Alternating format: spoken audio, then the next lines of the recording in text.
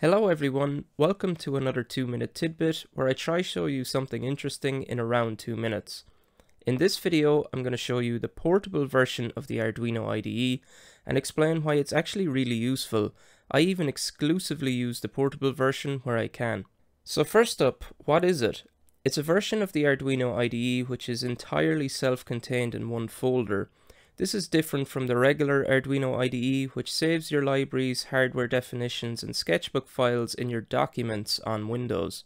Arduino describes a couple of use cases for why you might want to use it on their site, but none of these are actually why I use it. The main reason I use it is it allows me to maintain multiple instances of the Arduino IDE all at once that are independent of each other. It's mostly not even new versions of the Arduino IDE itself I'm concerned about, although it is useful that I can try out new versions without impacting my existing installs. But what I find really useful is since each instance has its own libraries and hardware folders, you can install different versions of these things. Take for example the Arduino JSON library. It has breaking changes between version 5 and 6, you might find some libraries that make use of it have already updated to use version 6, while some lazy library developers still haven't updated theirs yet so they use version 5. With the regular IDE, you would need to swap the Arduino JSON version before compiling sketches that use these libraries.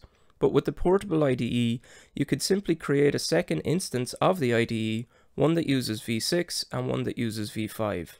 To install the portable version, go to the Arduino download page and download the zip version of the IDE. You can also do the same steps with the Linux version, but the Mac version does not officially support it, although there is a community workaround that I have not tried. I created a folder called Arduino on the root of my C drive and I extracted the zip in there. You can put it wherever you want, but be aware that you can run into some issues if your path is too long. I create a clean folder for storing untouched versions of the Arduino IDE so I don't have to download and extract every time I need a new version. Open up the Arduino IDE folders till you get where the arduino.exe is and create a new folder called portable. You can take a copy of the Arduino IDE folder and put it in your Arduino folder from earlier. It might be helpful to rename it to something meaningful to you. And that's it. You can launch it and use it like any other IDE now. Just note that when you install libraries, they will go into the portable sketchbook libraries folder. Hopefully you enjoyed this video. A huge thanks to my GitHub sponsors and I will see you next time.